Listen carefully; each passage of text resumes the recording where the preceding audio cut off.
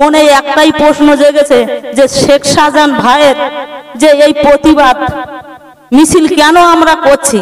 সাধারণ মানুষের মধ্যে একটা ক্ষোভ জাগতেই পারে। তার কারণ আমরা দেখেছি শেখ শাহজাহান ভাইয়ের নামে অপবাদ, যে মিথ্যা কথা বলছে। সূর্যকান্ত মজুমদার, আমি তাকে বলি, দাদা, আপনি একবার সন্দেশখালিটা ঘুরে যাবেন। আপনি যদি গাড়িতে না আসতে পারেন, বলবেন শেখ শাহজাহানকে হেলিকপ্টার ভাড়া করে দেবে আপনার। ঘোরার জন্য তার এলাকায় এসে উন্নয়ন কি কি করেছে দেখার জন্য। শেখ শাহজাহানের ভাইয়ের গুণের কথা আমরা সবাই জানি তার মাঝখানে একটা জিনিস জানেন? এক সময় আমরা দেখেছি শেখ শাহজাহানের ভাইয়ের বাড়িতে একটা বাচ্চার মুখে ভাত হচ্ছে। এমএলএ, এমপি, প্রধান, উপপ্রধান, জেলা পরিষদ, ব্লকের সভাপতি সবাইকে নিমন্ত্রণ দিয়েছে দিয়েছে। দিতে সেখানে আমরা গিয়ে দেখি রাস্তার উপরে দাঁড়িয়ে আমরা যারা লিডার নেত্রী বা উপপ্রধান কর্মাধ্যক্ষ, ভিতরে ঘু-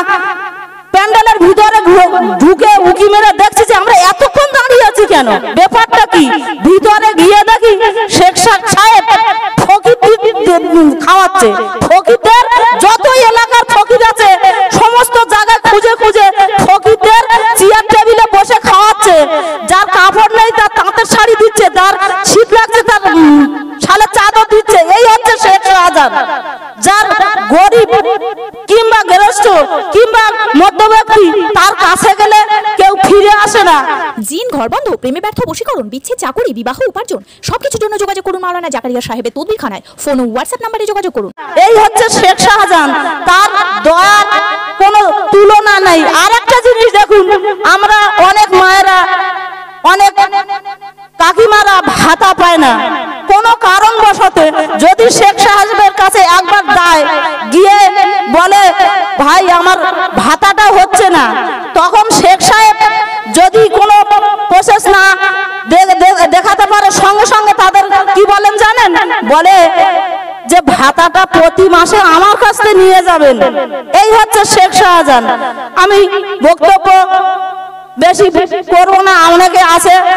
আপনাদের একটাই কথা বলব, শেখ শাহজাহানের উপরে ভরসা রাখো- রাখুন এবং শিবু হাজরার ভরসা রাখুন।